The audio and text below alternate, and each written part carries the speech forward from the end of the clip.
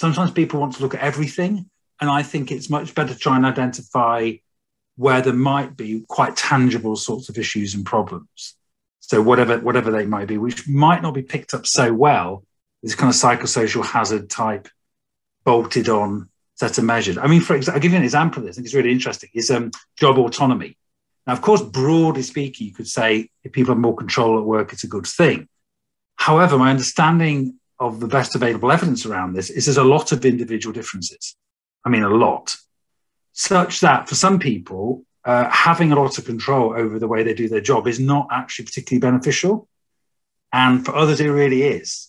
So you get into this more fine grained thing about what do people want. Now, obviously, it, it's difficult to individualize every single job and design individual job characteristics for every single person.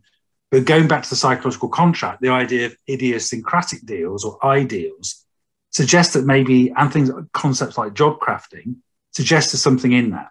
So rather than saying we want to change these features of all jobs so people have more control and more of this and less of that, actually, maybe we need to look a little bit more, although it's more time consuming, on the level of the individual. So it's kind of back to the cycle of contracts, back to what do they actually want to give, what do they want to get back, what works kind of for them. Now that is complicated, but it depends what kinds of results you're looking for. So, but I would say if there are some serious issues around, then yeah, I think it's important to deal with it. And the other thing I would say is it seems to me, in terms of initial diagnosis and evaluation, again, you've probably seen this, people might look at a well-being measure and say it's, I know, a seven-point scale averaged over 20 items, whatever it is. They'll say, look, it's really good. This thing really worked. We, we took people who were from 4.8 to 5.1 on a seven-point scale result. And I'm always thinking, but if they're already on 4.8, they're probably okay anyway on average.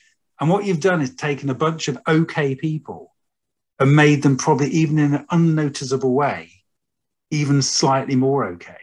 And it comes back to this, this is what making me think about this again. It's about tailoring it to specific individuals, but to specific kind of issues and problems. So a lot of this stuff seems to me, again, that your experience is it's often getting bunches of workers or employees are basically quite happy and tweaking something somewhere to make them slightly more happy. And I'm kind of keep thinking, but probably amongst that average are people who are really struggling. What about those people?